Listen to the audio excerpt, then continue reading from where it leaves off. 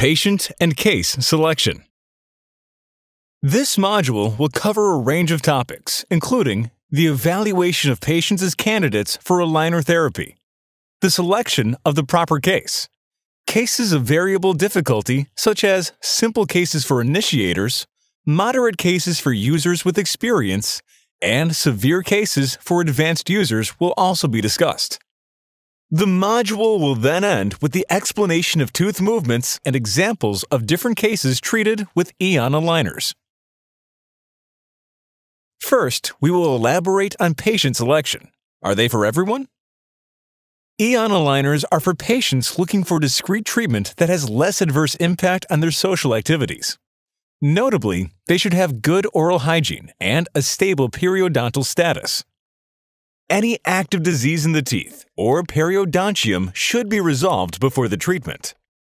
The patients should be motivated and committed to the treatment to see the result they want, as the aligner should be worn for at least 22 hours per day and only taken out when eating and or cleaning the aligner. A patient that cannot commit to frequent clinical visits is also a viable candidate.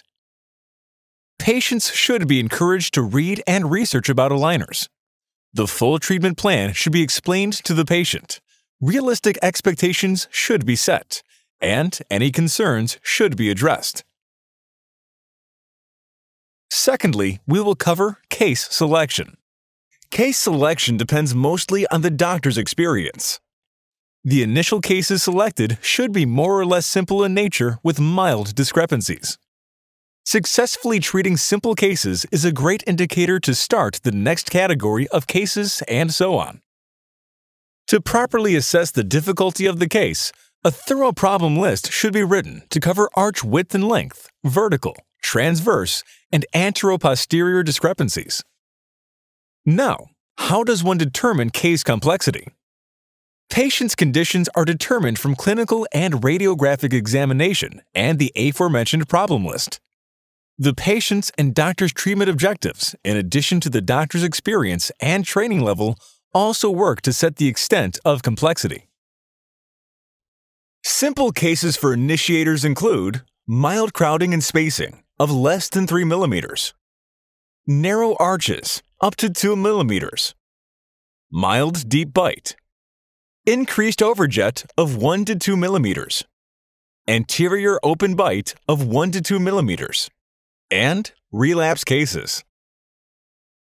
Moderate cases for average users include spacing and crowding of 3 to 6 millimeters, anterior dental crossbite, moderate deep bite, increased overjet of 2 to 4 millimeters, anterior open bite of 2 to 4 millimeters, rotation around 10 to 45 degrees, molars uprighting, lower incisors extraction, end on end class 2 molar relationships, and pre surgical alignment.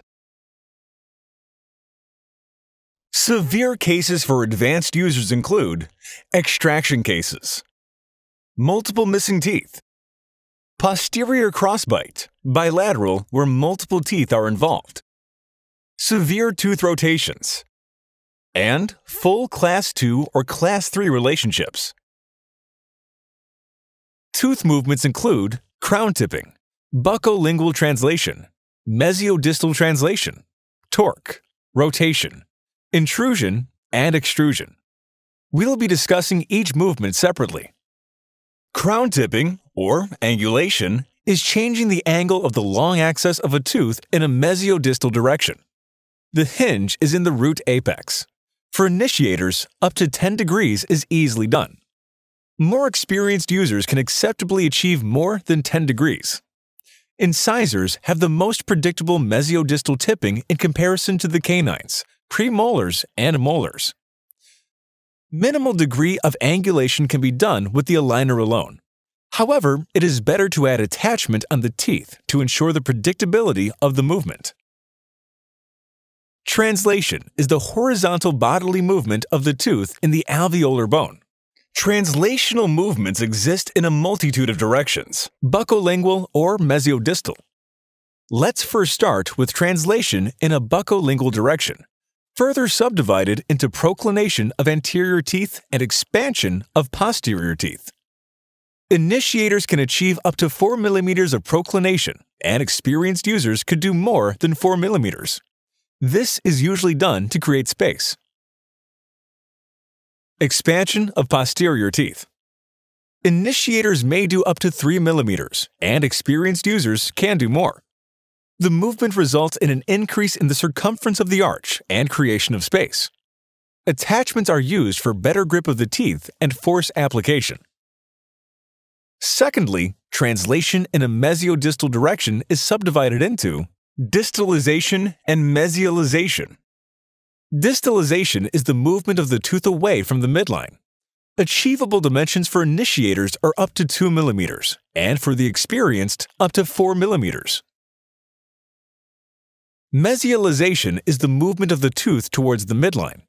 Initiators are recommended to do up to 2 millimeters, and the more experienced, up to 3 millimeters. We recommend using elastics for both mesiodistal movements, depending on the case and the teeth to be moved. Minimal mesiodistal translation with proclination or expansion can happen without the use of any auxiliaries. Torque involves changing the angle of the long axis of the tooth in a buccolingual direction. The hinge is in the center of the tooth, Initiators may appropriately do up to 10 degrees, while the more experienced up to 15 degrees. Torque enhancers for incisors are sometimes recommended to aid the movements. Rotation is the movement of the tooth along its long axis. Initiators may rotate incisors up to 30 degrees, canines or premolars up to 25 degrees, and molars up to 20 degrees. Experienced doctors may rotate incisors up to 50 degrees, canines or premolars up to 40 degrees, and molars up to 30 degrees. Rotation depends on the tooth and the degree of rotation. Incisors are easier to rotate due to their flat anatomy in comparison to the round premolars and molars. For rotations, attachments should be used to facilitate and have better tracking of the movement. Notably, space should be available around the tooth to correct its rotation. Intrusion is the movement of the tooth towards its socket. Initiators can perform the movement in anterior teeth up to 1 to 1.5 millimeters and posterior teeth up to 0.5 millimeters. Meanwhile, experienced doctors may intrude anterior teeth up to 2 millimeters and posterior teeth up to 1 millimeter. Attachments are not needed for teeth being intruded. However, they are needed to be placed on teeth adjacent to those being intruded. Intrusion also needs space, as the teeth are wider in the incisal or occlusal part. Extrusion is the movement of the tooth away from its socket. Initiators can extrude anterior teeth up to 2 mm and posterior teeth up to 0.5 mm. For experienced doctors, extrusion of up to 2.5 millimeters in anterior teeth and up to 1 millimeter in posterior teeth is achievable. Teeth that require alignment should have that planned first, then plan the extrusive movement. Evidence showed extrusion of incisors to be accurate. This is a summary of all the tooth movements that we've just discussed. Conclusively, we will showcase examples with variable severity treated with Eon aligners, starting with a mild case.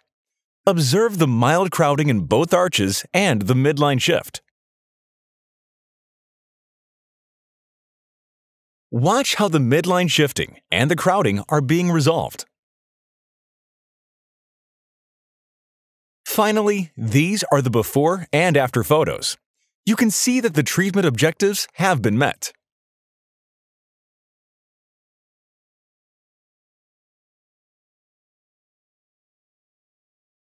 This is an example of a case moderate in severity.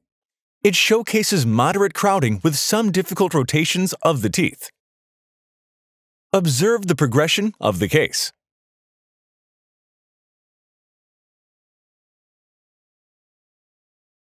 Here are the before and after photos. The crowding was resolved and the rotations were corrected.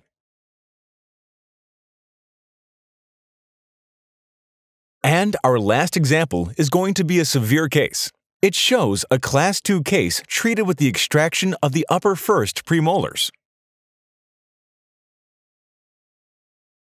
Notice the sequential movements progressing. Finally, here is the before and after. We have a Class 1 canine relationship, and the extraction space is fully closed. Thank you for watching.